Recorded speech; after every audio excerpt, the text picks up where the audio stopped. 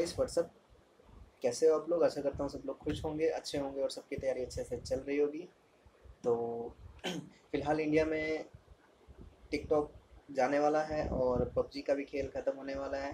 नेपाल में PUBG ban हो चुका है और इन सब चीज़ों के बीच में ही हमारा एक जो क्रिकेट टूर्नामेंट होता है, इंडियन प्रीमियर लीग, आईपीएल जिसको बोलते हैं, वो भी शुरू हो चुका है। तो इन सब चीज़ों के बीच हमारा भविष्य भी कहीं ना कहीं अटका हुआ है।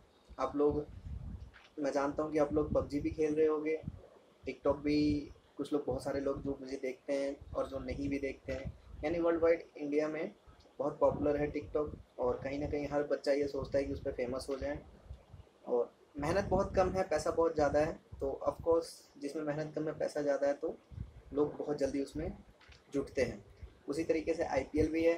आज हर दूसरे, तीसरे बच्चे को देखो तो या तो लाइव आईपीएल देख रहा होता है या तो अगर बहुत इंपॉर्टेंट काम कर रहा है, पीछे से डंडा लगा हुआ है तो कहीं ना कहीं क्रिक बिच की जो वेबसाइट होती है वो ओपन रहती है और उसमें वो स्कोर देखता रहता है। यानी इतना इंसिडेंट जो ये है, इतना वो क्रेज़ है, उसके पीछे आपको जानकर हैरानी होगी कि जो गेम खेल रहा है और जो गेम खिला रहा है, वो दोनों ही फ़ायदा उठा ले जाते हैं। लेकिन एक तीसरे गेम में हम लोग फंसे हुए हैं जिसमें हमारा कोई फ़ायदा नहीं है, हमारा नुकसान है। हम सिर्फ़ उसमें मूक दर्शक बन के बैठे ना हम उसमें कुछ कर सकते हैं।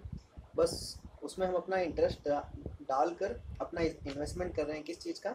समय का इन्वेस्टमेंट और इसी चीज़ का फ़ायदा ये सब लोग उठाते हैं।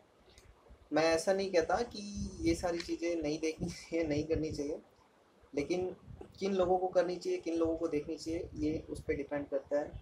अब हमारे जैसे विद्यार्थियों को तो इसमें टाइम स्पेंड नहीं करना चाहिए। आने वाला समय बहुत इम्पोर्टेंट है। एनटीपीसी है ग्रुप डी है और उत्तर प्रदेश का जो जेल वार्डन वाला एग्ज़ाम है, वो भी रिसेंटली अब होने ही वाला है कुछ ही समय में। तो कहीं ना कहीं हम बच्चों को इन सब चीज़ों से दूर रहना चाहिए, ठीक है? तो यही मैसेज था कि कीप मोटिवेट रहिए। एक छोटी सी बात बतानी है कि जब भी आपको कोई बोले कि आप मुझ पर विश्वास कीजिए, मैं जनरली बता रहा हूँ मैक्सिमम लोगों के साथ ऐसा होता है कि आपको अगर कोई बोले कि मेरे पे विश्वास कीजिए तो आप तुरंत समझ जाना कि वो धोखा देने वाला है। इसीलिए वो आपको पहले ही अप्रोच दे रहे हैं कि आप मेरे पे विश्वास कीजिए।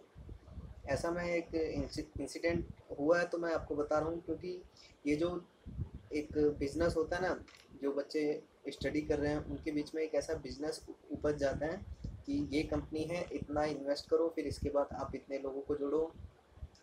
और आप मुझ पर विश्वास करो, मेरे सेमिनार में चलो तो बस। इस विश्वास करके बंदा इन्वेस्टमेंट करता है सेमिनार अटेंड करता है और ड्रीम बना लेता है कि ये होगा ये होगा, इतने साल में ये करेंगे और फिर वो धोखा दे जाते हैं। तो इसलिए, और इसका मतलब ये भी नहीं है कि अपने ऊपर विश्वास मत करो। मैं कहता हूँ कि आप किसी पे विश्वास मत करो, लेकिन अपने ऊपर विश्वास करो और हाँ जो विश्वास कर रहे हो तो एकदम जैनमैन करो। अगर आप अपने ऊपर विश्वास कर रहे हो तो ये आपसे धोखा, धोखे वाली बात है कि आप अपने आप को धोखा दे रहे हो कि नहीं।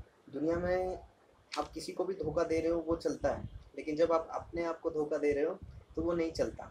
आप अपने आप को जिस दिन धोखा देना स्टार्ट कर दोगे, उस दिन से आप गर्द में चले जाओगे। गर्द यानी कि गड्ढा। गर्द एक वर्ड है जो जियोग्राफिकल वर्ड है और यह एक जियोग्राफी का विषय है। इस पर हम ज़्यादा बात नहीं करेंगे।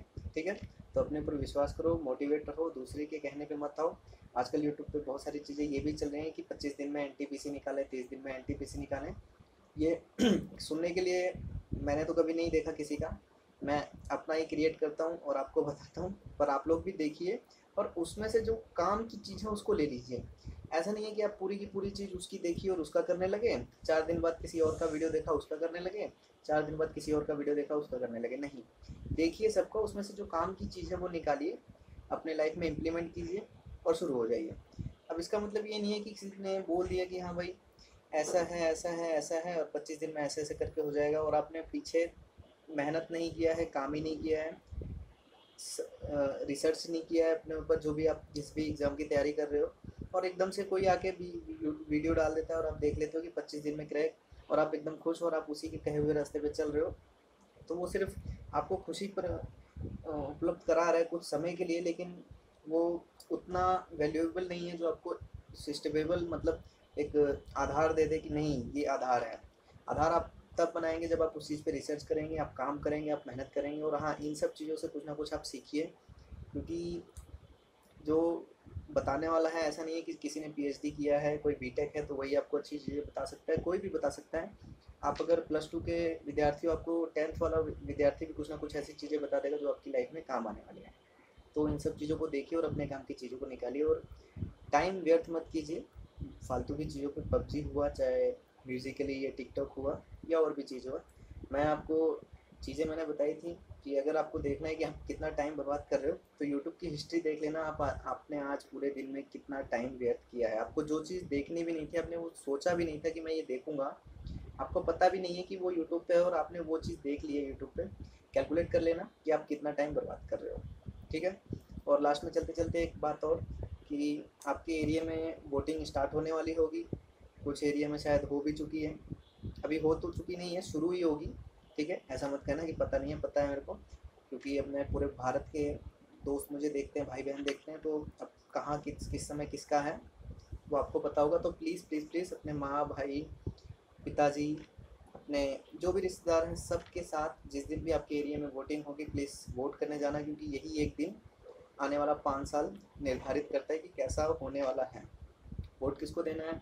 ये आपकी मर्ज़ी है, ये आपका अधिकार है। किसी को भी दीजिए। हाँ किसी को भी मतलब जो आपको संतुष्ट करता है, जिसने आपके लिए काम किए हैं, आप उसको दीजिए। तो इस वीडियो का आधार भी था कि मैं वोट के लिए सपोर्ट करूँ और आप लोगों को वोट के लिए कुछ मोटिवेट करूँ। तो प्लीज़ वोट डालने ज़रूर डालना, वोट डालने ज़रूर जाना ज़रूर जाना और ज़रूर जाना। आज की वीडियो में इतना ही, मिलते हैं नेक्स्ट वीडियो में। आशा करता हूँ सब लोग खुश होंगे, अच्छे होंगे, सबकी तैयारी अच्छे से चल रही होगी। शायद ये लाइन में पहले बोला था, लेकिन धीरे बोला था जाते जाते फिर से बोल देता हूँ। कहीं ना कहीं अच्छे हैं।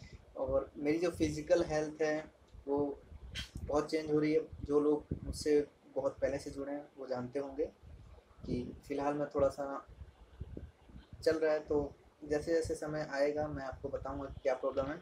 अभी मेरी फ़िज़िकल हेल्थ मतलब मैं बहुत वेट गेन कर रहा हूँ, कुछ समस्या है तो सब कुछ ठीक हो जाएगी, जैसे जैसे समय आएगा। तो मिलते हैं नेक्स्ट वीडियो में, और कुछ बदलाव भी करूँगा। जैसे जैसे समय आएगा, मैं बदलता जाऊँगा चीज़ों को। और आपके लिए जो इम्पोर्टेंट चीज़ है वो मैं बताता जाऊँगा। ठीक है? सब्सक्राइब करना लाइक करना शेयर करना। माँ बाप के साथ वोट करने ज़रूर जाना। जय हिंद।